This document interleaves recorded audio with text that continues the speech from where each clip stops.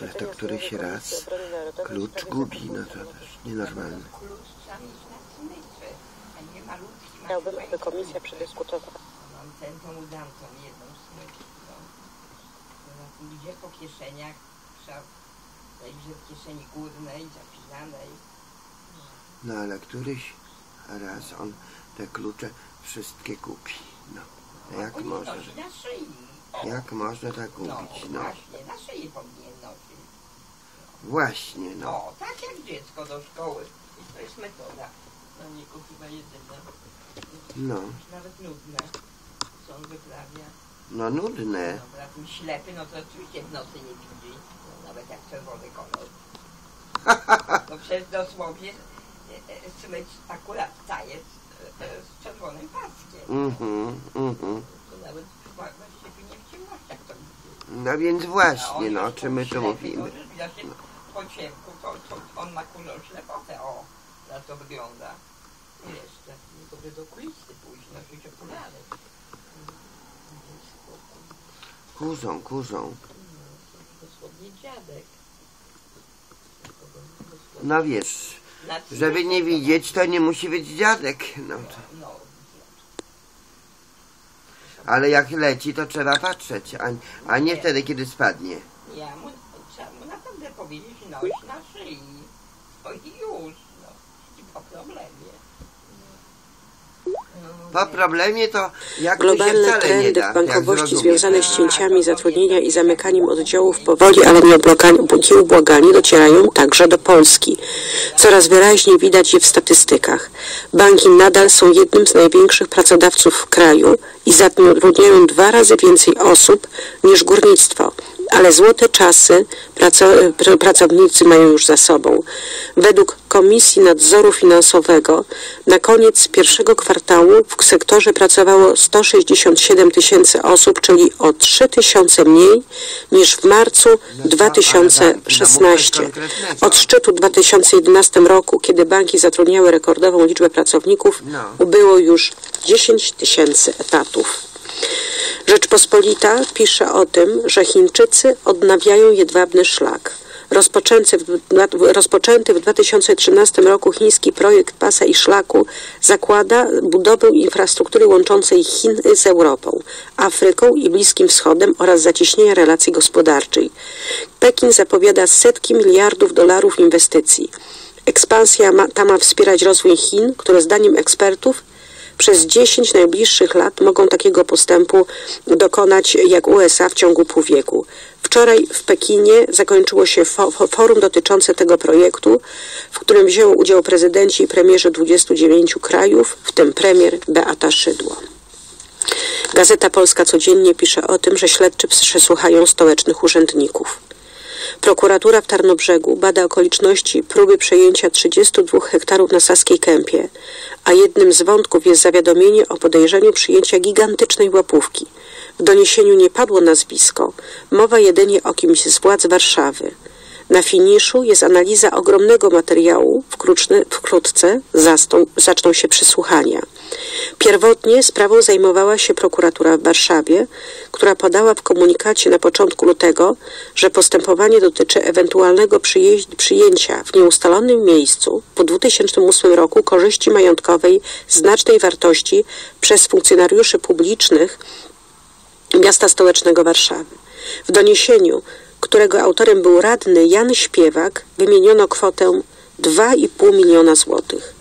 Śledztwo zostało przekazane do prokuratury okręgowej w Tarnobrzegu. Tam powołano specjalny zespół śledczy. Dwóch prokuratorów, dwóch funkcjonariuszy Agencji Bezpieczeństwa Wewnętrznego i jeden z Komendy Głównej Policji. To ogromny materiał dowodowy, a w trakcie zastanawiania się z nim prokuratorzy, zwraca, prokuratorzy zwracali się do rozmaitych instytucji o przesłanie nowych dokumentów. Do końca maja powinna zakończyć się analiza i opracowanie y, zostanie No plan śledztwa, mówi Andrzej Dubiel z no. prokuratury okręgowej w Tarnobrzegu. No. Czy na przesłuchanie zostanie wezwana prezydent stolicy Hanna Gronki- Gronkiewicz-Waltz? Na razie w tej chwili je- nie wiadomo. Informacje dnia w skrócie. Minęła 7.30. Aleksandra Kozera, zapraszam. Będzie kolejne przesłuchanie Donalda Tuska. Tym razem byłego premiera wezwali prokuratorzy ze specjalnego zespołu wyjaśniającego katastrofę smoleńską. Przesłuchanie ma się odbyć 5 lipca. Rzeczniczka prokuratury krajowej Ewa Bialik wyjaśnia, że sprawa dotyczy możliwych zaniechań ze strony polskich władz, do których mogło dojść po katastrofie smoleńskiej. Prokuratorzy zespołu numer 1 prokuratury krajowej wezwali w charakterze świadka pana Donalda Tuska do postępowania prowadzonego w sprawie niedopełnienia obowiązków przez funkcjonariuszy publicznych, polegającego m.in. na nieprzeprowadzeniu sekcji zwłok ofiar katastrofy pod Smoleńskiem. W kwietniu Donald Tusk, obecnie szef Rady Europejskiej, zeznawał w stołecznej prokuraturze w śledztwie dotyczącym współpracy polskiego kontrwywiadu z rosyjską FSB. Za pół godziny polska delegacja wyruszy do Włoch, by uczcić się żołnierzy drugiego Korpusu Polskiego. Polskie cmentarze wojenne we Włoszech i miejsca walk odwiedzą weterani armii generała Władysława Andersa, przedstawiciele rządu, Sejmu, instytucji historycznych oraz harcerze. Pełniący obowiązki szefa Urzędu do Spraw Kombatantów i Osób Represjonowanych Jan Kasprzyk wyjaśnia, że będzie to swoista pielgrzymka, której głównym punktem będzie uczczenie 73. rocznicy zdobycia Monte Cassino. Bardzo cieszymy się, że są z nami jeszcze żołnierze drugiego korpusu i że razem z nimi będziemy mogli we Włoszech celebrować kolejną rocznicę walk o Monte Cassino i tej wiktorii montekasińskiej. Wspólnie z weteranami przedstawiciele najwyższych władz państwowych oddadzą hołd tym, którzy zginęli, ale także oddadzą hołd tym, którzy są wśród nas, którzy tradycje drugiego korpusu przenoszą we współczesność. W uroczystościach weźmie udział ponad 20 weteranów drugiego Korpusu Polskiego. Polska delegacja odwiedzi miejsca wyjątkowe dla polskich żołnierzy walczących na Półwyspie Apenińskim, wyjaśnia Jan Kasprzyk. Będziemy na Monte Cassino, ale będziemy także w Bolonii, tam gdzie w kwietniu 1945 roku trwały zaciekłe walki, gdzie również pochowani są żołnierze generała Władysława Andersa. Ale nasz pobyt we Włoszech będzie też wiązał się z przypadającą w tym roku 220. rocznicą Mazurka Dąbrowskiego, bo to nieopodal Bolonii, w Reggio, Józef Wybicki napisał pieśń, która stała się 90 lat temu hymnem Rzeczpospolitej. Uroczystości rozpoczną się jutro audiencją generalną u Ojca Świętego Franciszka, po której odbędzie się modlitwa przy grobie Jana Pawła II. Na dwudniowe posiedzenie zbiera się dziś Senat. W porządku obrad jest innymi nowelizacja kodeksu spółek handlowych. Przewiduje ona, że przy zakładaniu spółki z ograniczoną odpowiedzialnością przez internet będzie można korzystać wyłącznie z kwalifikowanego podpisu elektronicznego lub podpisu potwierdzonego profilem ePUAP. Senatorowie będą też pracować nad innymi projektami. Szczegóły zna Danuta Zaczek. Senat zajmie się również nowelizacją kodeksu postępowania cywilnego oraz zmianą prawa o postępowaniu przed sądami administracyjnymi. Nowe przepisy mają umożliwić udział dzieci do lat 18 w obserwowaniu za zgodą sądu jawnych rozpraw cywilnych i administracyjnych. W porządku obrad jest również nowelizacja ustawy o roszczeniach o naprawienie szkody wyrządzonej przez naruszenie prawa konkurencji. Ustawa zakłada, że poszkodowani przez zmowy cenowe lub nadużywanie pozycji dominującej będą mogli domagać się odszkodowania za poniesione straty. Porządek obrad prawdopodobnie zostanie rozszerzony o uchwaloną w ostatni czwartek nowelizację ustawy o Krajowej Szkole Sądownictwa i Prokuratury. Przewiduje ona, że aplikacja sędziowska odbywana na tej uczelni będzie podstawową drogą dojścia do zawodu sędziego. Nasza gospodarka w pierwszym kwartale mogła się rozwijać w tempie mniej więcej 4%, prognozują analitycy. Główny Urząd Statystyczny opublikuje dziś szybki szacunek PKB za pierwsze trzy miesiące tego roku. Prezes Związku Maklerów i Doradców Paweł Cymcyk podkreśla, że dzisiejszy odczyt powinien być lepszy w porównaniu z tym samym okresem 2016 roku. A wszystko to jest efektem tego, że ruszyły w Polsce w końcu inwestycje, konsumenci dużo chętniej wydają pieniądze i też wyraźnie widać, że część przedsiębiorców widzi coraz więcej szans na biznes. Piotr Kuczyński z Domu Inwestycyjnego Xelion uważa, że kolejne kwartały też powinny być niezłe. Czy będą aż tak dobre, tego nie wiemy oczywiście, ale biorąc pod uwagę to, że właśnie zużycie środków unijnych wreszcie ruszy, bo musi ruszyć, bo w tym roku mamy połowę okresu perspektywy budżetowej 14-20. W związku z tym na pewno rząd przyspieszy wydawanie środków unijnych. Dane GUS poznamy o 10. Krystyna Prostak, Polskie Radio. Polskie Radio 24. Słowem wszystko. 24 pytania. Rozmowa poranka w Polskim Radiu 24. Witam Państwa ponownie, Dorota Kania, a z nami w studiu już jest Pani Minister Pracy i Polityki S- Społecznej Elżbieta Rafalska. Witam Panią i witam Państwa również serdecznie. Pani Minister, Platforma Obywatelska y, sporo mówi teraz na temat polityki prorodzinnej. Czy rzeczywiście się zmieniło coś w polityce Platformy Obywatelskiej, czy jest to tylko i wyłącznie zabieg PR-owy? Pani redaktor, właśnie sporo się mówi. Robić mogli wtedy, kiedy przez dwie kadencje e, rzeczywiście sprawowali władzę i mieli wpływ na decyzje i na to, jak jest realizowana polityka rodzinna.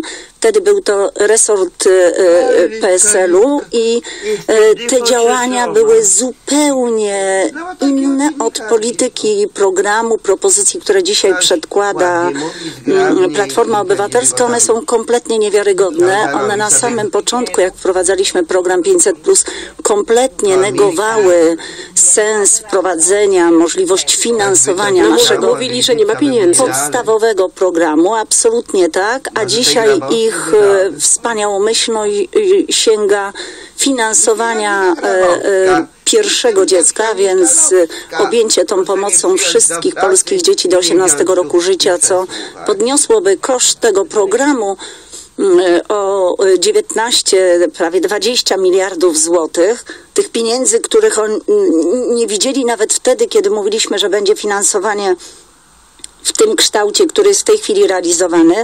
Ja myślę, że trzeba by było ocenić, jak wcześniej realizowali świadczenia rodzinne, które wzrastały, pani redaktor, o 5 zł, o 6 zł, albo w których e, progi dochodowe były przez wiele, wiele lat zamrożone, w wyniku czego nie dziesiątki tysięcy, ale setki tysięcy, w zasadzie 2 miliony dzieci wypadły z systemu poprzedniego, bardzo skromnego systemu wsparcia. To jest takie wsparcie, jakie zaproponował e, pan poseł Trzaskowski e, tej pani. Są e, sytuacje, w której jak nie ma pieniędzy, tak jak tłumaczył pan poseł, to nie daje się po prostu takiej, da, takiego datku, takiej daniny, która drugiego człowieka upokarza. Przypomnijmy, poseł Trzaskowski dał Pani 20 E, groszy. Mówię o tych 20 groszach. E, Ja rozumiem, że są różne sytuacje, że możemy nie mieć przy sobie akurat pieniędzy, ale danie komuś kwoty e, to jest tylko upokorzenie tego drugiego człowieka. Myślę, że takich gestów się nie robi. E, I, I podobnie dzisiaj z tym programem, to moim zdaniem jest to próba oszukiwania wyborców. Jest to nierealne? Platforma, e, e, ja nie będę to, tego oceniać w kategoriach, czy to jest realne, czy nierealne. Dla mnie to jest po prostu próba oszukiwania wyborców. Nie wierzę w ten program, który jest jakby tylko odpowiedzią na to, co się dzieje w sondażach. Nie jest to program e, przemyślany. Oceniam go jako niespójny, jako pisany pośpiesznie, na kolanie, jako program, który nie został e, e, policzony. I podobnie się też odnoszę do tej propozycji, która jest związana z wiekiem emerytalnym, tej szybkiej deklaracji, że Platforma Obywatelska nie będzie wydłużała tego wieku, który kiedyś wydłużyła nam wcześniej, mm, mimo że zapowiadała, że nie będzie wydłużała tego wieku.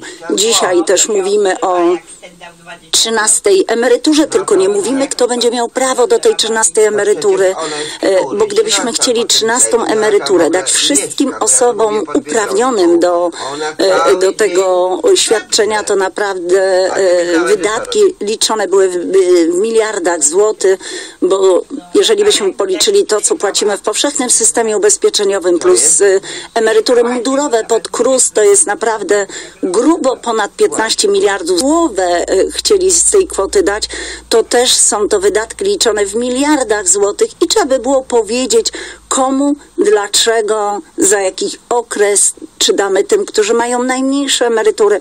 Również przy, y, y, przy pozostawieniu tego wieku emerytalnego, o którym dzisiaj Grzegorz Schetyna mówi, że on zostałby taki, to trzeba byłoby zapytać, jaki byłby minimalny staż, żeby otrzymać minimalne świadczenie emerytalne, a może wprowadzono by drugie oprócz kryterium wieku wymagany staż do tego, żeby przejść na emeryturę. Także tu jest wariantów wiele i i te projekty musiałyby być bardziej dopracowane, bardziej uszczegółowione, żeby były przedmiotem jakiejś poważniejszej dyskusji. Pó- Póki co dla mnie są to trochę pomysły jak ptak rzucony na wiatr i zobaczymy, co z tego wyjdzie, kto leci. Pani minister, opozycja krytykuje ustawę żłobkową z jednej strony, z drugiej strony mamy też zapowiedź Unii Europejskiej odnośnie e, urlopów. Czy e, rzeczywiście młode rodziny są zagrożone? Nie ma żadnego zagrożenia dla młodych rodzin. Cały czas pracujemy nad tym, żeby poprawiać warunki do powstania i rozwoju polskich rodzin, poprawiać ich sytuację, ułatwiać im e, całe to otoczenie, które powinno być przyjazne e, e, polskim rodzinom, więc to kompletnie nieuzasadnione zarzuty, nie znajdującego potwierdzenia w niczym. Nakłady na politykę rodzinną wzrosły ponad 1% PKB i dzisiaj to finansowanie polskie jest porównywalne do innych krajów, które szczycą się swoimi politykami rodzinnymi, ale oczywiście tu jest jeszcze wiele wiele do zrobienia. Ustawa żłobkowa. No, próbujemy e, e, wprowadzić zmiany, które po pierwsze poprawią dostępność do opieki nad małym dzieckiem do trzeciego roku życia, po drugie obniżą koszty e, pobytu dziecka, po trzecie dopuszczą kolejne podmioty do możliwości zakładania tych wniosków. Mówimy tu dzisiaj o powiatach, o, o instytucjach publicznych, również o samorządach województwa, żeby ten krąg e, tych, którzy mogą zakładać, by e, te instytucje, te mm, podmioty był e, coraz e, szerszy. Natomiast nas, nasz projekt jest w trakcie konsultacji międzyresortowych, konsultacji społecznych. Jesteśmy otwarci na wszystkie uwagi. Ja wyraźnie podkreślam, że absolutny priorytet to jest bezpieczeństwo dzieci No i właśnie, wysoki standard opieki. Opozycja właśnie zarzuca, że te proponowane przez rząd, że propozycje rządu mogą zagrozić bezpieczeństwu dzieci. E, Naprawdę nie ma tu takiego zagrożenia.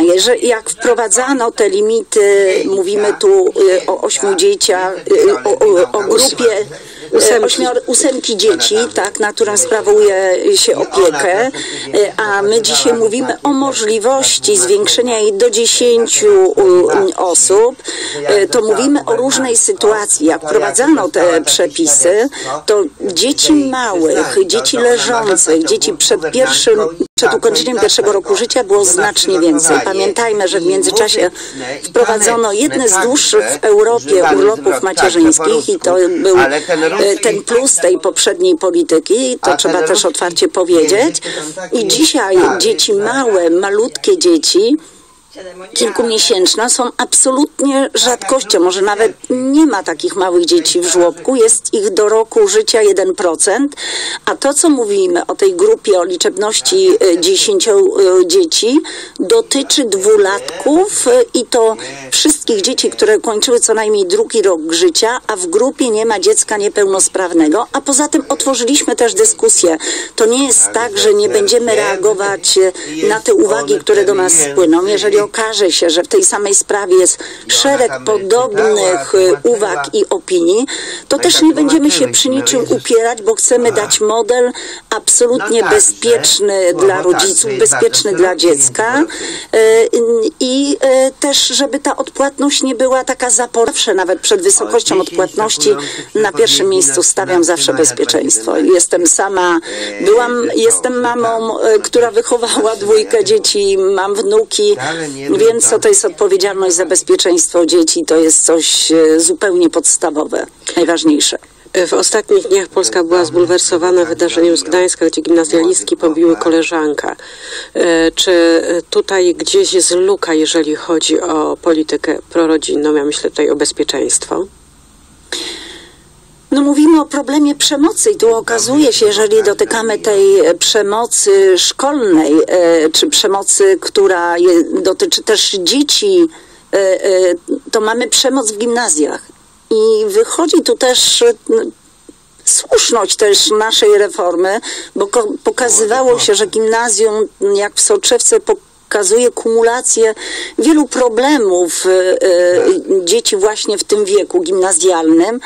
E, i to, co jest też niebezpieczne, jak patrzymy, jak, jak, jaka jest też obojętność na tą przemoc, e, to, że, że przestajemy reagować na tą przemoc, ale ważne, żeby mówić też otwarcie o tej przemocy, żeby nie mówić, że przemoc, w związku z tym, że mamy ustawę o przeciwdziałaniu przemocy w rodzinie, jest czymś, co stygmatyzuje tylko rodzinę. Przemoc jest w rodzinie, ale przemoc jest wszechobecna. dzisiaj, jest Problemem, któremu musimy stawić czoła. Jest w szkole, jest na ulicy, jest obecna w mediach. Ostatnio była mocno obecna na naszej e, miesięcznicy na krakowskich przedmieściach i ona miała wymiar już zupełnie ryczny, bo ona może mieć wymiar takiego przymusu też e, psychicznego, tak? Wywierania takiej e, presji, więc to jest coś szalenie niepokojącego, że w grupie rówieśniczej w takim wymiarze i dotyczy to jeszcze dziewcząt, spotykamy się z przemocą, wobec której stają czasami bezradni pedagodzy, nauczyciele, e, rodzice, ale też jak powiedziałam całe otoczenie, które e, to jest bardzo niepokojące, jest obojętne, z czymś jeszcze kiedyś przed laty, no chyba nie mieliśmy do czynienia, bo jak kogoś bito, maltretowano, znęcano się, To ruszaliśmy z to pomocą. ruszaliśmy z pomocą. Zawsze znalazł się ktoś, kto stanął w obronie i tak powinien się każdy z nas w takich sytuacjach naprawdę zachować. Pani minister, już króciutko na koniec. E, Co czuła Pani, jak widziała Pani posłów Platformy Obywatelskiej z białymi różami po incydencie, pod, podczas którego pobito Adama Borowskiego, szefa klubu Gazety Polskiej? Posłowie stanęli z tymi różami w Sejmie. Kolejny cyrk. Żenujący spektakl. Gadżeciarstwo, niepoważna polityka.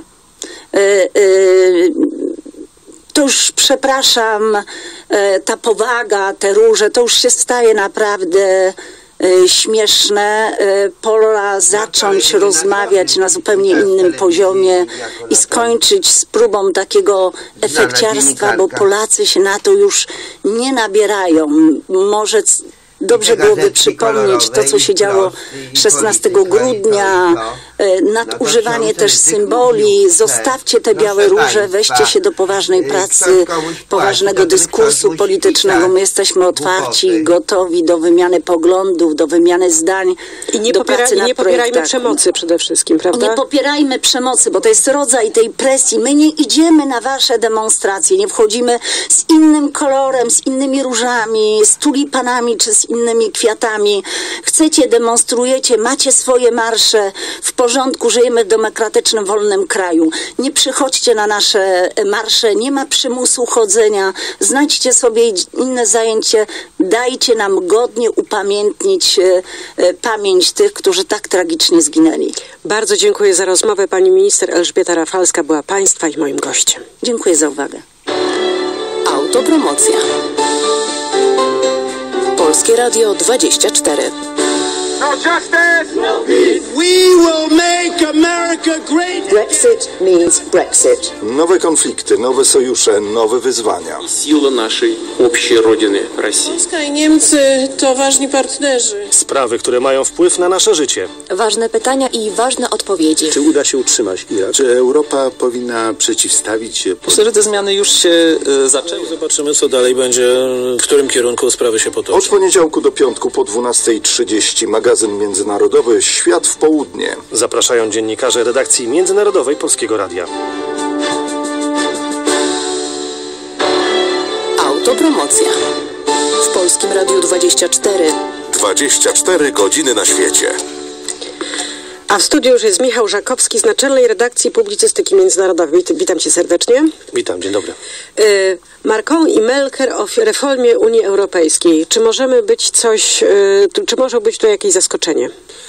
Myślę, że zaskoczeniem jest na pewno to, że oboj, oboje politycy przyznają, że traktaty unijne, które do tej pory były nienaruszalne, nie, nie, nie, do zmiany, można właśnie zmieniać stosownie do sytuacji. E, ciekawą też rzeczą jest powrót do polityki mm, zacieśnionej współpracy pomiędzy Francją a Niemcami. Pamiętamy przecież e, M- Mercosi, tak taką, taką formułę, czyli Nicolas Sarkozy i Angela Merkel, czyli były prezydent mm, Francji, y, który zresztą nieudanie startował w tej kampanii wyborczej. Ale zauważ, prezydenci Francji się zmieniają, a Angela Merkel cały czas trwa na posterunku. No i, myśl, i mam wrażenie, że może przetrwać jeszcze na posterunku, dlatego że w Wybory nadchodzących... nic nie zmienią? Wybo wybory niemieckie, no na razie z tego co wy wygląda, e, były wybory e, północnej West na terenie północnej Westfalii, które miały być takim e, probierzem popularności, czy właściwie możliwości e, e, wyborczych jesiennych niemieckich właśnie partii mm, chadeckiej Angeli Merkel, wygrane. I teraz wydaje się, że Angela Merkel przechodzi do z punktu, który no, jeszcze kilka miesięcy temu, kiedy y, Martin Schulz z SPD obwieścił, że będzie startował w wyborach i sondaże poszły bardzo wy, wy- wysoko w górę, wszyscy się zastanawiali, co się stanie. No teraz mam wrażenie, że Angela Merkel ma szansę na e, kolejną kadencję No na porażka stanowisku. Schulza o tym świadczy, I prawda? porażka Schulza o tym świadczy. Natomiast e, i, i wracając do tego spotkania z e, Macron, Macronem. no w, pierwsza podróż zagraniczna, przecież to jest świeżo wybrany prezydent. Jeszcze nie zdążył do końca sformować rząd, znaczy wyznaczyć rządu, wyznaczyć premiera i już jedzie do Berlina i rozmawia z Angelą Merkel. I to jest e, bardzo ciekawe, mówię pod względem też e, kondycji Unii Europejskiej, przyszłości Unii Europejskiej, dlatego że zmiana traktatów, e, zmiana jakakolwiek w Unii Europejskiej może oznaczać i zacieśnienie współpracy pomiędzy Francją a Niemcami może oznaczać, że to właśnie te kraje będą decydowały o przyszłości Unii Europejskiej. One i tak decydują, bo są poważnymi graczami, to są e, wielkie gospodarki. Natomiast teraz, e, wyznaczając nowe trendy, nową historię, bo tak już tutaj takie słowa się pojawiają, że to jest historyczny moment dla Unii Europejskiej, dla Europy, kiedy możemy razem nad e, tą przyszłością Unii pracować, to są oczywiście dyplomatyczne ogólniki, ale co to oznacza w praktyce, to myślę, że w najbliż, ciągu najbliższych kilku miesięcy będziemy mogli spokojnie oglądać. A już po wyborach w Niemczech, to wtedy myślę, że jeżeli Angela Merkel oczywiście wygra, bo tutaj to jeżeli trzeba jednak postawić, no jednak to są wybory, e, to będziemy świadkami jakiejś zdecydowanej e, ofensywy dyplomatyczno-traktatowej, bo takie zapowiedzi jednak są na tyle poważne, że należy je e, traktować jako zapowiedzi naprawdę poważnych zmian w Unii Europejskiej. A co to oznacza dla Polski? No dla Polski to oznacza jak zwykle kolejne wyzwanie dyplomatyczne. To oznacza mocne, e, to oznacza próbę znalezienia się w tej sytuacji. To znaczy mm, e, my mamy coś takiego jak e, Trójkąt Weimarski, Polska, Niemcy, Francja. E, Trójkąt Weimarski na razie no, nie jest zbyt aktywny. Większy nacisk kładziemy na Grupę Wyszehradzką, ale dla Polski w tym momencie to oznacza mm, kolejne jakieś próby znalezienia się wokół tego twardego jądra Unii Europejskiej. To znaczy e, musimy znaleźć sprzymierzeńców, musimy znaleźć tych, z którymi będziemy mogli naciskać, no i nie możemy absolutnie e, pozostać poza tym kręgiem dyskusji, to jakie traktaty mamy zmieniać, co mamy zmieniać w tych traktatach i jaką Unię Europejską właśnie ci dwaj przywódcy zamierzają nam tutaj zaprezentować. Dzisiaj prezydent Turcji jest e, z wizytą w Waszyngtonie. Czy to oznacza e, coś nowego w polityce na przykład tureckiej wobec Europy? Gruppe Myślę, że wobec Europy nie możemy mówić e, o polityce tureckiej, która będzie się zmieniała w Waszyngtonie, aczkolwiek rzeczywiście Waszyngton ma dużo do powiedzenia na temat chociażby polityki imigracyjnej tureckiej. właśnie, o tym myślałem. E, wspóln- tylko, że właśnie z jakim bagażem jedzie e, premier, pre, prezydent Turcji Recep Erdoğan. Niedawno Stany Zjednoczone ogłosiły, że będą zbroiły Kurdów syryjskich. Dla Turcji to jest bardzo niekomfortowa sytuacja, o ile nawet nie policzek dyplomatyczny, dlatego że oni uznają Kurdów syryjskich za organizację terrorystyczną, pokrewną e, partii pracujących Kurdystanu, czyli Turków, e, czyli Kurdów tureckich.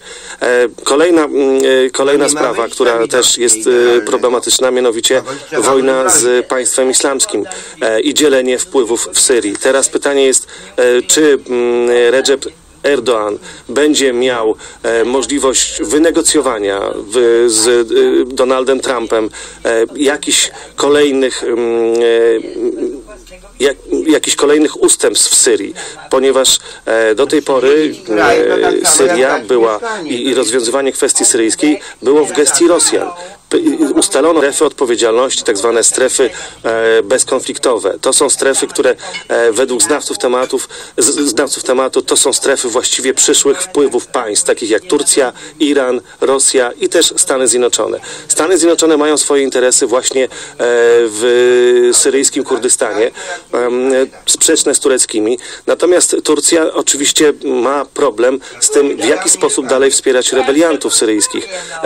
To są, Turcja zresztą też jest oskarżana bardzo często o to, że mm, to właśnie Turcy wspierali państwo islamskie, e, może nie wprost, ale przepuszczając bojowników na terytorium syryjskie. Także e, w- wachlarz spraw do rozwiązania jest ogromny i czy mm, znajdzie się tutaj miejsce na e, kwestie imigracji, na kwestie e, europejskie, e, no zobaczymy. Tutaj jest, jest jedna rzecz ważna o tyle e, dla, dla Europy, mianowicie stabilizacja Turcji. Niedawno, e, prawie rok temu, w Turcji miał miejsce domniemany pucz, e, za którym prezydent Erdoğan, tak, to, tak twierdzi, stoi Fethullah Gülen, czyli e, duchowny kaznodzieja, Który jest w Stanach który jest Zjednoczonych. właśnie w, który jest w Stanach Zjednoczonych. I teraz, mm, e, czy znajdzie miejsce, czy znajdzie się czas na to, aby dyskutować o Europie, a nie dyskutować o ekstradycji Fetullaha Gülena, bo to jest dość poważny problem dla Amerykanów, jak zgodzić się na ekstradycję e, e, kaznodziei do Który- Turcji, któremu którego czeka grozi, kara śmierci. Któremu grozi chociaż, no,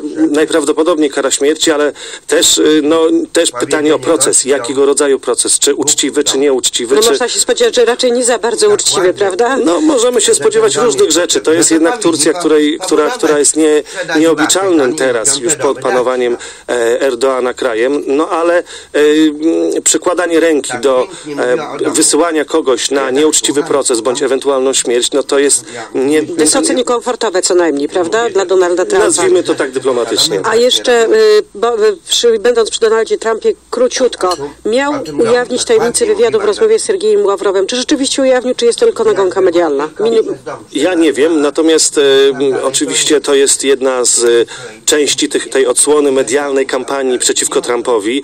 E, czy rzeczywiście Trump powiedział coś na ucho e, Siergiejowi Ławrowowi podczas spotkania i wizyty w ubiegłym tygodniu? Tego nie wiadomo. To Ale co miał powiedzieć? Miał powiedzieć coś na temat bomby, która, e, którą szykuje państwo islamskie, w, umieszczonej w laptopie. E, Te informacje miały być przekazane CIA przez, jednego, przez jedną z agencji wywiadowczych państwa zaprzyjaźnionego.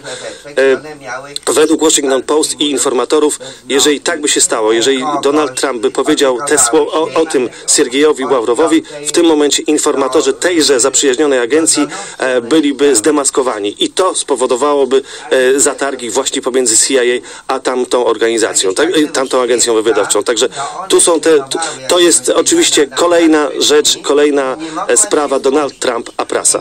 Bardzo dziękuję. Michał Żakowski z Naczelnej Redakcji Publicystyki Międzynarodowej. Dziękuję bardzo.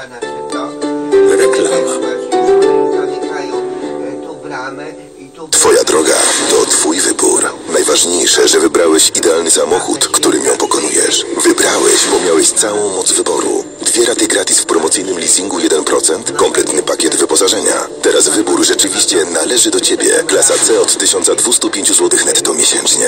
To są Mercedes-Benz. Czwórka zdrowa, piątka ok, w szóstce mały ubytek do zrobienia. O, a tu na dziąśle ma pan aftę. To pana nie boli? Boli, ale nie wiem, co mogę z tym zrobić. Proszę kupić w aptece Dezaftan. Dezaftan to pomaga na afty? Dezaftan jest niezawodny przy wszelkich zmianach w jamie ustnej. Pomaga na afty, ale również na urazy wywołane przez aparaty ortodontyczne lub protezy, a także na pleśniawki u dzieci. Czyli nie będę musiał się męczyć. Dezaftan. Szybki sposób na afty i drobne urazy. Więcej na www.dezaftan.pl Misiu, a może byśmy sobie kupili nowy laptop?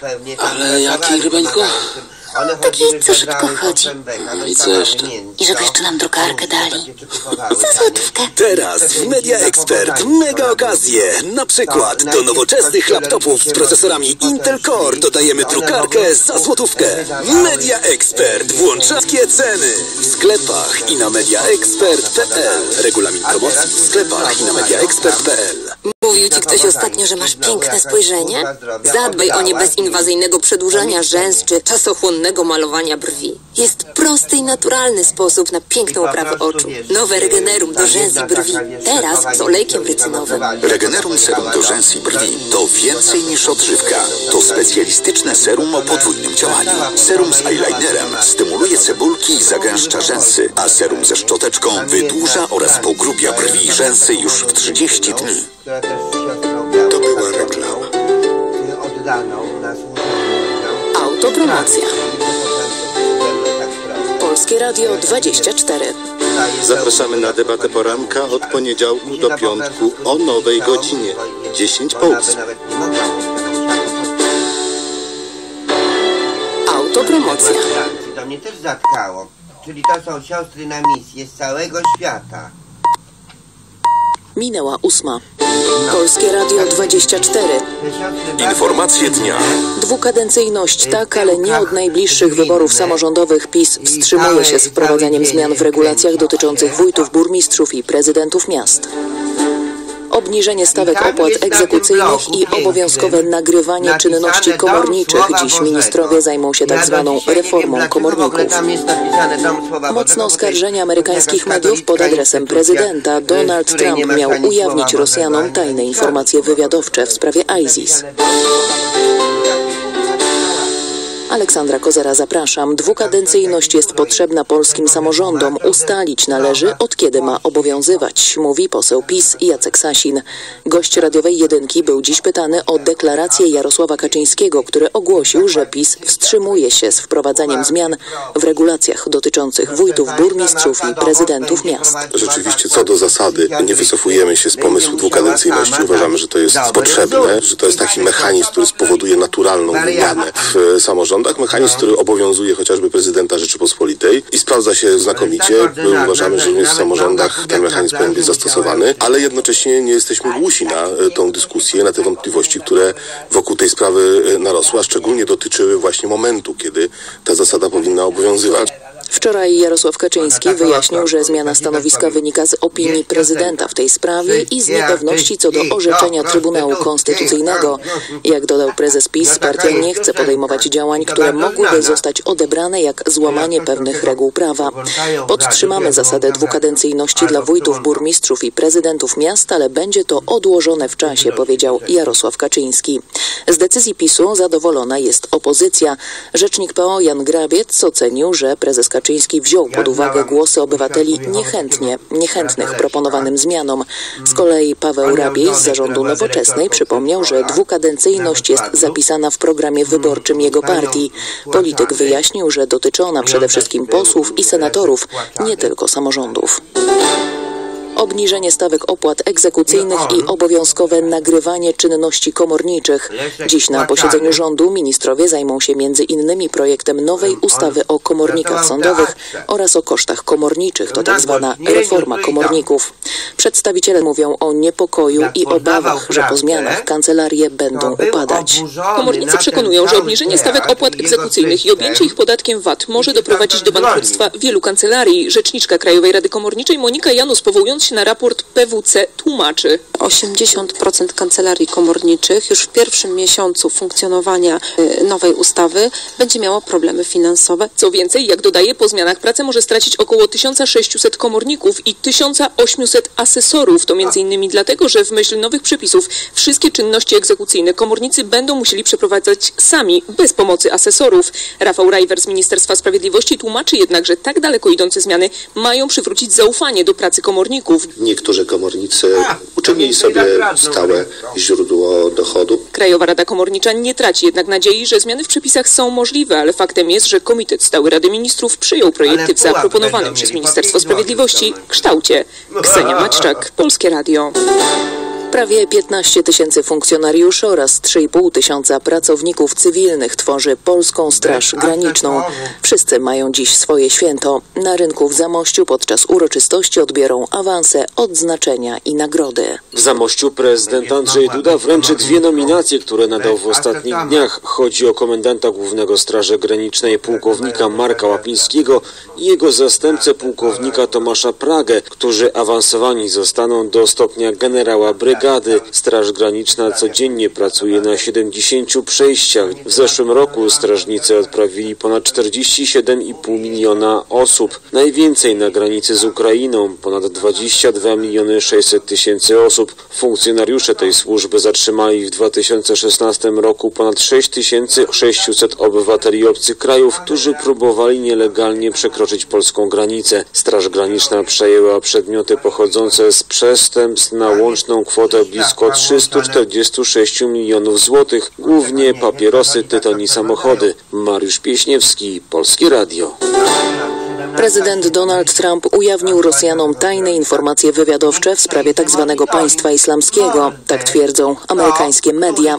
Miało to nastąpić podczas niedawnej wizyty w Waszyngtonie szefa rosyjskiej dyplomacji Siergieja Ławrowa. Biały Dom broni prezydenta przekonując, że nie doszło do ujawnienia źródeł i metod pracy wywiadu. Z Waszyngtonu Marek Wałkuski. Według amerykańskich mediów podczas spotkania z Siergiejem Ławrowem Donald Trump zaczął się przechwalać, jak dobrymi raportami wywiadowczymi dysponuje i podał Rosjanom tajne informacje dotyczące planowanych ataków terrorystycznych państwa islamskiego. Informacje te miały pochodzić od jednego z partnerów wywiadowczych Stanów Zjednoczonych, które to państwo nie upoważniło Waszyngtonu do przekazywania dalej tych wiadomości, w obawie przed ujawnieniem źródeł informacji. Biały Dom zaprzecza jednak, że mogło dojść do ujawnienia danych operacyjnych. Ta relacja, w sposób jaki ją przedstawiono, jest nieprawdziwa. Prezydent i minister spraw zagranicznych Rosji rozmawiali o zagrożeniach dla obu krajów, także w ruchu lotniczym. W żadnym momencie nie rozmawiano o źródłach ani o metodach wywiadowczych. Zapewnił doradca prezydenta Trumpa do spraw bezpieczeństwa narodowego generał Herbert McMaster. Autorzy artykułów odpowiadają, że nie twierdzili, iż Donald Trump przekazał Rosjanom informacje operacyjne, ale że ujawnione przez niego tajemnice mogły doprowadzić do zidentyfikowania źródeł wywiadowczych. Z Waszyngtonu Marek Wałkuski, Polskie Radio. Informacje gospodarcze. Boży Pryszniewski, zapraszam. Główny Urząd Statystyczny opublikuje dziś szybki szacunek PKB za pierwszy kwartał. Nasza gospodarka w tym okresie mogła się rozwijać w tempie mniej więcej 4%, tak uważa prezes Związku Maklerów i Doradców Paweł Cymcyk. W jego opinii to istotna poprawa w porównaniu z tym samym okresem 2016 i 2015 roku. A wszystko to jest efektem tego, że ruszyły w Polsce w końcu inwestycje, konsumenci dużo chętniej wydają pieniądze, no i też wyraźnie widać, że część przedsiębiorców widzi coraz więcej szans na biznes. A dane GUS poznamy o godzinie 10. Zdaniem wicepremiera Mateusza Morawieckiego dane na temat wartości inwestycji zagranicznych w Polsce są najlepsze od 27 lat. Minister Finansów i Rozwoju mówił w TVP Info, że chodzi jednak nie o przyciąganie inwestorów dla nich samych, ale o to, aby dzięki temu, jak się wyraził, nasze portfele były grubsze. Polska w opinii Mateusza Morawieckiego jest atrakcyjna dla inwestorów technicznych, informatycznych, a także dla firm motoryzacyjnych. Zbudowaliśmy, można powiedzieć, potężny klaster motoryzacyjny i to nie jest koniec. Rozmawiamy z kolejnymi inwestorami z branży o nowych inwestycjach zarówno w silniki, w skrzynie biegów i w produkcję całych samochodów, w tym też samochodów elektrycznych. W 2016 roku inwestycje zagraniczne w Polsce wyniosły 10 miliardów dolarów. W Grecji rozpoczyna się 48-godzinny strajk pracowników żeglugi morskiej. Ogłosiła go na wszystkie te kategorie statków Panheleńska Federacja Marynarzy, która sprzeciwia się kolejnym reformom oszczędnościowym. Pakiet ustaw, który w czwartek ma przyjąć grecki parlament, przynosi m.in. kolejne znaczne cięcia emerytur, wzrost podatków i znosi wiele uprawnień socjalnych. Dziś w Grecji strajkują także dziennikarze, a kierowcy autobusów jeżdżą z przerwami. Na środę z kolei zapowiedziany jest strajk powszechny. Banknot o nominale 20 zł 1050-lecia Chrztu Polski wyemitowany przez Narodowy Bank Polski i wydrukowany przez Polską Wytwórnię Papierów Wartościowych został uznany za najlepszy banknot kolekcjonerski na świecie. To prestiżowe wyróżnienie przyznano podczas tegorocznej Currency Conference, która odbyła się w stolicy Malezji Kuala Lumpur. Egzekwo to samo wyróżnienie otrzymał Bank Centralny Chin za banknot 100 juanowy. A jeśli chodzi o rynkową, a nie artystyczną wartość tych banknotów, to obecnie yuan wyceniany jest na 56 groszy, Kurs dolara wynosi 3,81. 3 grosze droższy jest frank szwajcarski, a za 1 euro trzeba zapłacić 4 zł i 18 groszy. Prognoza pogody. Poranek ciepły na termometrach od 10 stopni w Krakowie, Kielcach, Katowicach i Poznaniu do 12 w Warszawie, Łodzi i Wrocławiu. W ciągu dnia przeważnie od 17 do 21 stopni, nad morzem chłodniej od 13 do 17. Na zachodzie dziś zachmurzenie małe i umiarkowane, na pozostałym obszarze więcej chmur, przelotne opady deszczu, a w centrum oraz na południu i wschodzie miejscami burze, lokalnie z gradem. Polskie Radio 24. Słowem wszystko.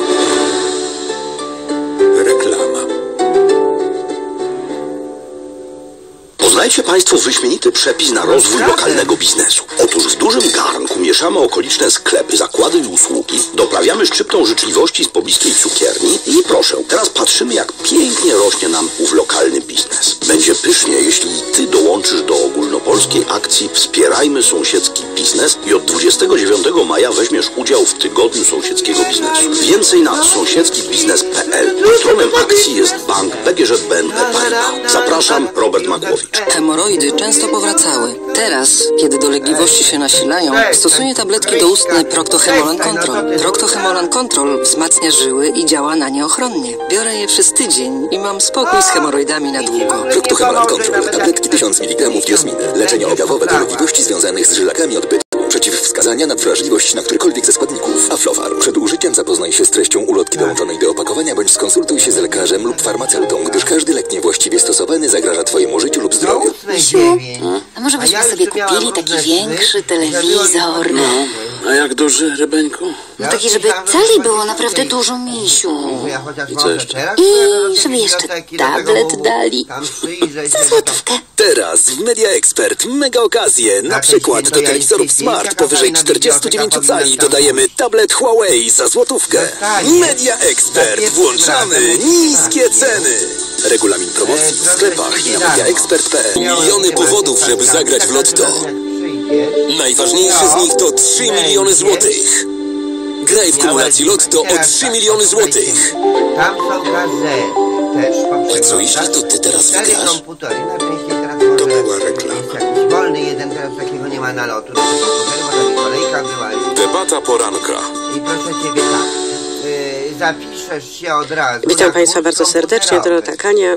Witam w debacie poranka. Na telefonie jest Pan Jeżeli Profesor taki Witam serdecznie. Dzień dobry Pani i Państwu. A jedzie do nas do studia Jacek Lichiniewicz z Gazety Polskiej mamy miejmy nadzieję, że wkrótce dotrze. Panie Profesorze, mamy całkowite zawirowanie z sondażami. Są Zupełnie proszę różne wskaźniki badania opinii społecznej. Dlaczego tak jest? Dlaczego mamy tak różne sondaże? tak źle zrobiona, że No cóż, no że kolegom socjologom, dzień dobry Państwu jeszcze raz, ponieważ jako politolog twierdzę, że sondaży jest za dużo.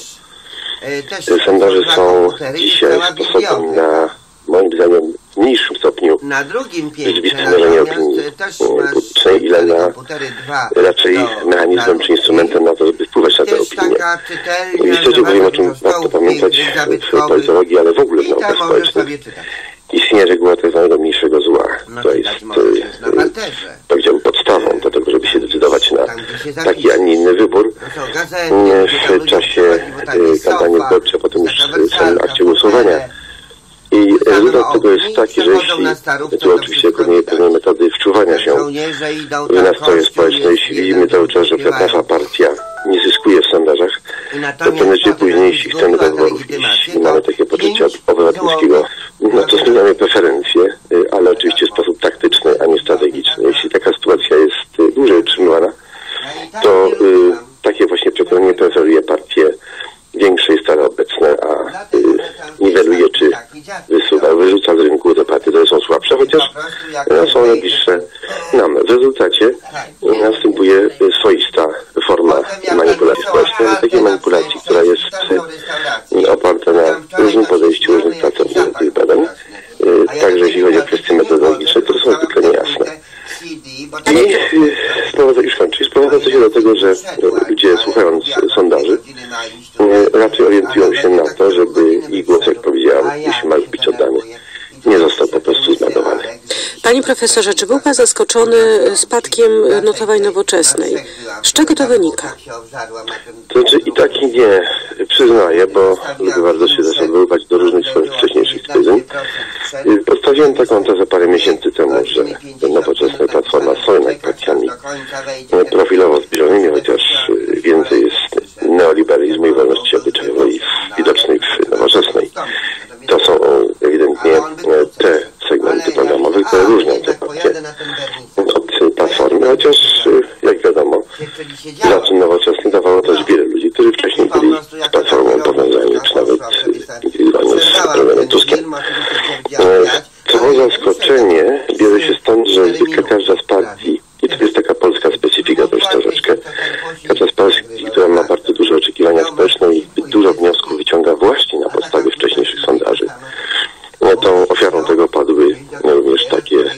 результате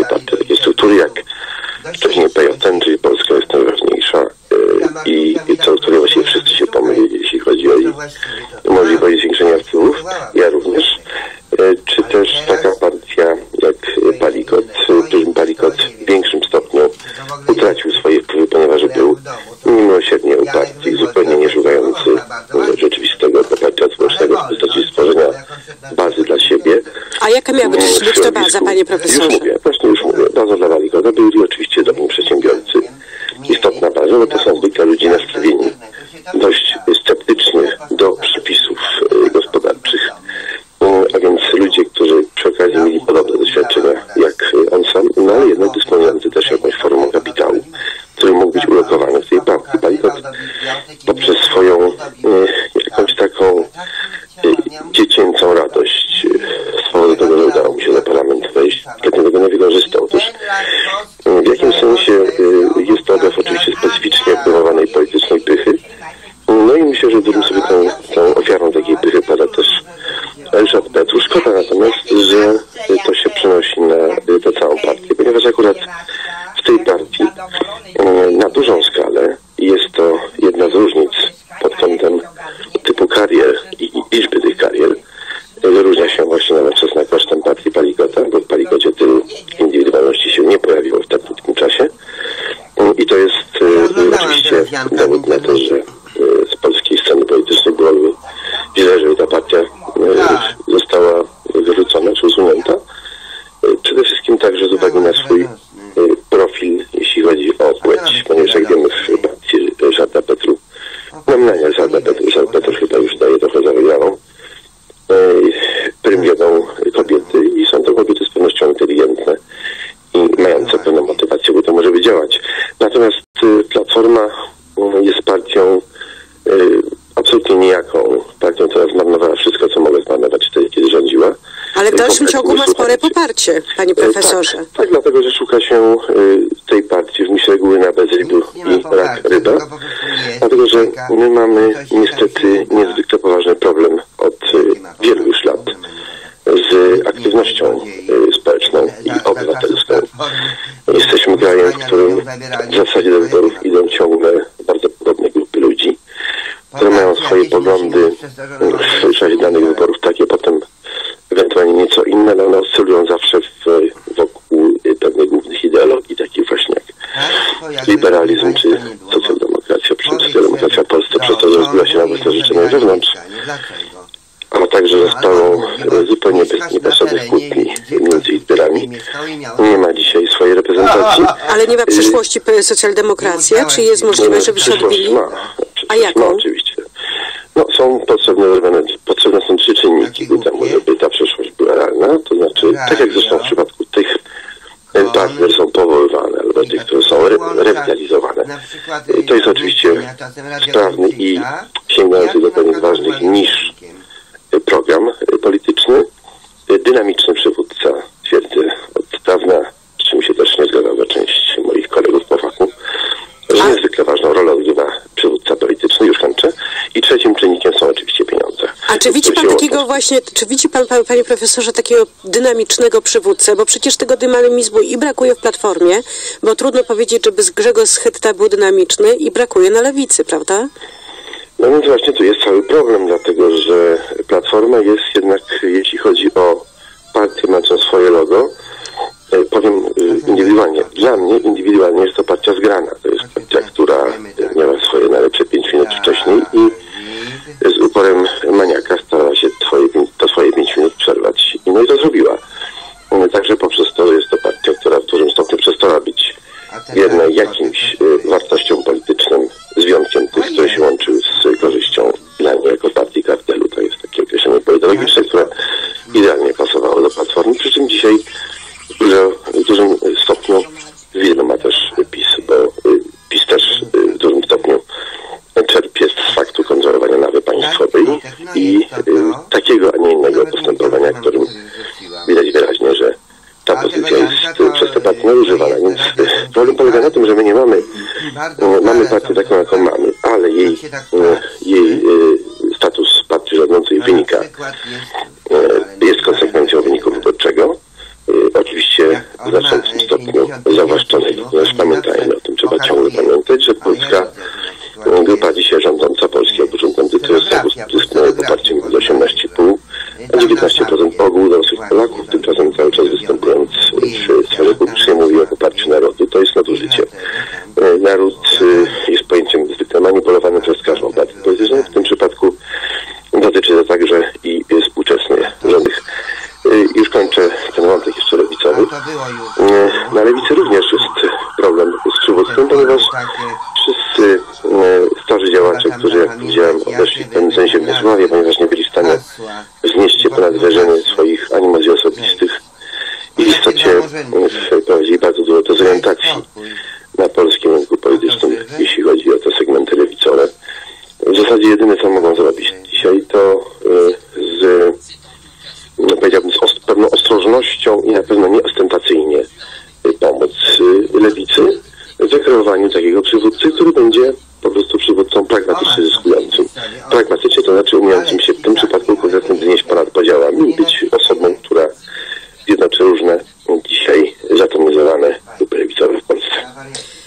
profesorze, a y, nie sposób nie spytać o Polskie Stronnictwo Ludowe, bo jest to partia, która w sumie łutem szczęścia się dostała do parlamentu.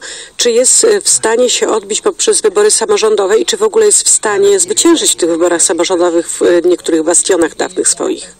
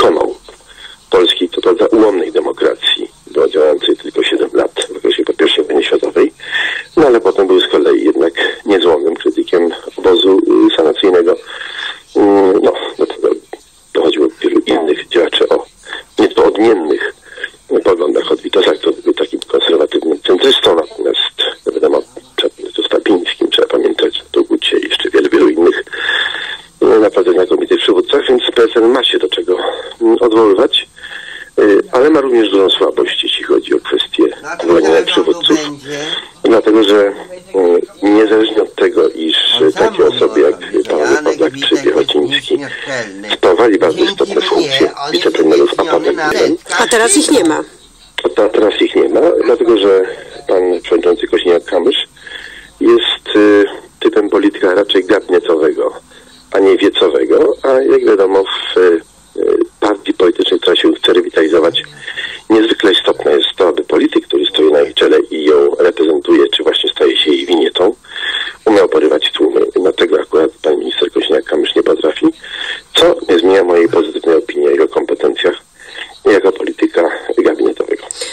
profesorze, a czy jest taka możliwość i taka, ym, taka przyszłość dla PSL-u, żeby PSL został wchłonięty na przykład przez Prawo i Sprawiedliwość, które też również ma szeroki elektorat yy, wiejski? Naturalnie, że tak. No, fakt, że mamy do czynienia z y, znaczącym